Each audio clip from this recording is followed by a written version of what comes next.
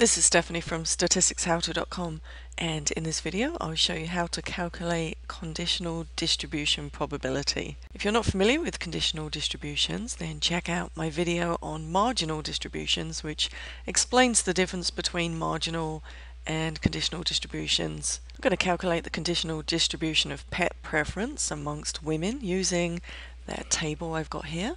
My marginal distributions are the ones in the margin. There's my marginal distributions. And a conditional distribution is anything in the middle here, like the column for cats or fish or dogs. We're going to calculate the preference of women for pets.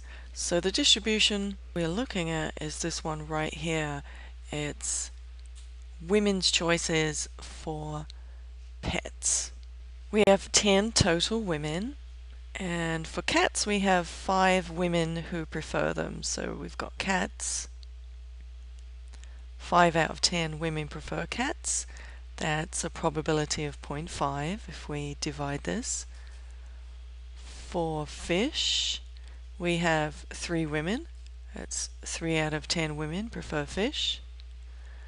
And that would be 0.3. And finally, dogs. Two women out of 10 prefer dogs. Two out of 10 is 0.2. That's how to calculate a conditional distribution. Check us out at statisticshowto.com for more videos and articles on everything elementary statistics.